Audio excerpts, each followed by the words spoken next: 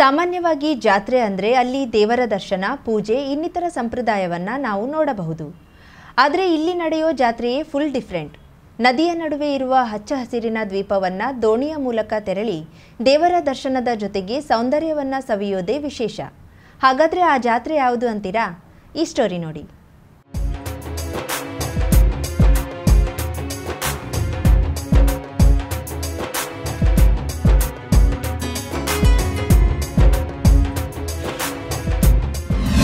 ಒಂದೆಡೆ ಹಚ್ಚ ಹಸಿರಿನ ಕಾನನದ ನಡುವೆ ಆಕರ್ಷಿಸುತ್ತಿರುವ ದ್ವೀಪ ಪ್ರದೇಶ. ಇನ್ನೊಂದೆಡೆ ದ್ವೀಪ ಜಾತ್ರೆಗೆ ದೋಣಿ ಏರಿರುವ ನಾಗರಿಕರು. ಮತ್ತೊಂದೆಡೆ ಕಾಂಡ್ಲಾವನಗಳ ನಡುವೆ ಹೆಜ್ಜೆ ಹಾಕುತ್ತಿರುವ ಭಕ್ತರು. ಈ ದೃಶ್ಯ ಕಂಡುಬಂದಿದ್ದು ಉತ್ತರ ಕನ್ನಡ ಜಿಲ್ಲೆಯ ಕಾರವಾರದ ಕಾಳಿಕಾ ಜಾತ್ರಾ ಮಹೋತ್ಸವದಲ್ಲಿ. ಪ್ರತಿ ವರ್ಷದಂತೆ ಈ ವರ್ಷವೂ ಸಹ ಕಾಳಿಕಾ ನದಿ ನಡುವೆ ಇರುವ ಕಾಳಿಕಾ ದೇವಿಯ ಜಾತ್ರಾ ಮಹೋತ್ಸವ ನಡೆಯುತ್ತಿದೆ. ಸುತ್ತಲೂ ನದಿಯಿಂದ ಆವೃತವಾಗಿರುವ ನಡುಗಡ್ಡೆಯಲ್ಲಿ ಕಾಳಿಮಾತೆ ನೆಲೆಸಿರುವುದರಿಂದ ಕಾಳಿ ನದಿಗೆ ಕಾಳಿ ಎನ್ನುವ ಹೆಸರು ಬಂದಿತೆಂಬ ಇತಿಹಾಸವಿದೆ.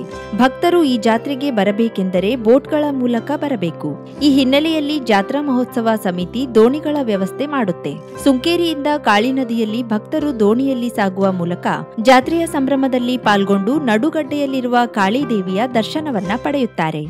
ಕರ್ನಾಟಕದ ಪ್ರಪ್ರಥಮ ಕಾಳಿಕಾ ದೇವಸ್ಥಾನ ಅಲ್ಲದೆ ಕರ್ನಾಟಕದ ಪ್ರಪ್ರಥಮ ಕಾಂಡ್ಲಾವನ ಎಂದು ಪ್ರಸಿದ್ಧಿಯಾಗಿದೆ. ಇದು ಕೇವಲ ಧಾರ್ಮಿಕ ಕ್ಷೇತ್ರ ಅಷ್ಟೇ ಅಲ್ಲ ಪ್ರವಾಸಿ ತಾಣವೂ ಸಹ ಹೌದು. ಇಲ್ಲಿ ಬರಲು ಕಾರವಾರ ನಂದನಗದ್ದ ಜೈ ಸಂತೋಷಿ ಮಾತಾ ಕ್ಷೇತ್ರದಿಂದ ದೋಣಿಗಳ ವ್ಯವಸ್ಥೆ ಇದೆ. ಇಪ್ಪತ್ನಾಲ್ಕು ಇಂಟು ಸೆವೆನ್ ಇಲ್ಲಿ ಭಕ್ತರು ಬರ್ತಾ ಇರ್ತಾರೆ. ಈಗ ಇಲ್ಲಿ ಜಾತ್ರೆ ನಡೀತಾ ಇದೆ. ಎಲ್ಲ ವ್ಯವಸ್ಥೆ ಯಾತ್ರಿಕರಿಗೆ ಇಲ್ಲಿ ಅನುಕೂಲ ಮಾಡಿ ಕೊಡಲಾಗುತ್ತದೆ. ಮಹಾರಾಷ್ಟ್ರ ಗೋವಾ ಹಲವಾರು ರಾಜ್ಯಗಳ ಭಕ್ತರು ಇಲ್ಲಿ ಬಂದು ತಮ್ಮ ಆ, ಭಕ್ತಿಯಿಂದ ದೇವಿಗೆ ಪೂಜೆ ಸಲ್ಲಿಸಿ ತಮ್ಮ ಮನದ ಎಲ್ಲ ಆಸೆಗಳನ್ನು ಈಡೇರಿಸಿಕೊಳ್ಳುತ್ತಾರೆ.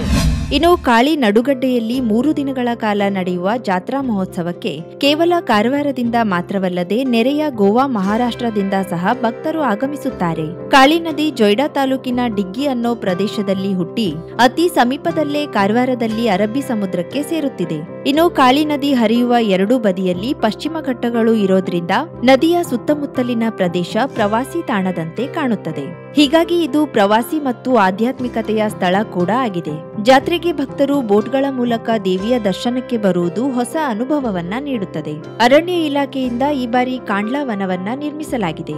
ಇದರ ನಡುವೆ ಹೆಜ್ಜೆ ಹಾಕುತ್ತಾ ಜಾತ್ರೆಯಲ್ಲಿ ಪಾಲ್ಗೊಳ್ಳುವುದರಲ್ಲಿ ಖುಷಿ ಸಿಗುತ್ತೆ ಅಂತಾರೆ ಭಕ್ತರು. ಕಾಳಿಕಾ ಮಾತಾ ದೇವಿಯ ಒಂದು ಕ್ಷೇತ್ರ ಸಂಸ್ಥಾನವಾಗಿದೆ. ಸಂತೋಷ ಮಾತಾ ದೇವಸ್ಥಾನದಿಂದ ದ್ವೀಪದಲ್ಲಿ ಈ ದೇವಸ್ಥಾನ ಇದೆ. ಮೊದಲು ಬೆಂಗಾಡಾಗಿದ್ದ ಈ ಪ್ರದೇಶವನ್ನು ಒಂದು ಯಾತ್ರಾ ಸ್ಥಳವನ್ನಾಗಿ ಮಾರ್ಪಡಿಸುವುದರು ಸಂತೋಷ ಮಾತಾ ಸಂಸ್ಥಾನದ ನಮ್ಮ ಈಗ ದೈವಜ್ಞರಾಗಿರತಕ್ಕಂಥ ವಿಷ್ಣು ಸಾವಂತ್ ಭೋಸ್ಲೆ ಗುರೂಜಿಯವರು. ಇಲ್ಲಿ ಭಕ್ತರ ಹಲವಾರು ಮನೋಅಭಿಷ್ಟಗಳನ್ನು ಇಡೋ ಇರುತ್ತೆ ದೇವಿಯ ಸನ್ನಿಧಾನ ಇರೋದ್ರಿಂದ ಆಧ್ಯಾತ್ಮಿಕ ಕ್ಷೇತ್ರ ಆಗಿದೆ. ಹಾಗೆ ಯುವ ಜನಾಂಗಕ್ಕೆ ಒಂದು ಬೋಟಿನಲ್ಲಿ ಬರೋ ಪ್ರವಾಸ ಕಂಡ್ಲಾ ನಡಿಗೆ ಒಂದು ಆಹ್ಲಾದಕರ ಅನುಭವ ನೀಡಿ, ಒಂದು ಪಿಕ್ನಿಕ್ ಸ್ಪಾಟ್ ತರನೂ ಆಗಿ ಯುವ ಜನಾಂಗ ಕೂಡ ಸಂತೋಷ ಪಡ್ತಾ ಇದ್ದಾರೆ. ಕಾರವಾರ ನಗರದ ಸುಂಕೇರಿ ಶ್ರೀ ಸಂತೋಷಿ ಮಾತಾ ದೇವಸ್ಥಾನದವರು ಕಾಳಿ ನಡುಗಡ್ಡೆಯಲ್ಲಿ ದೊಡ್ಡ ದೇವಸ್ಥಾನವೊಂದನ್ನ ನಿರ್ಮಿಸಿದ್ದಾರೆ. ಪ್ರತಿ ವರ್ಷವೂ ಜಾತ್ರಾ ಮಹೋತ್ಸವವನ್ನ ನಡೆಸಿಕೊಂಡು ಬಂದಿದ್ದಾರೆ.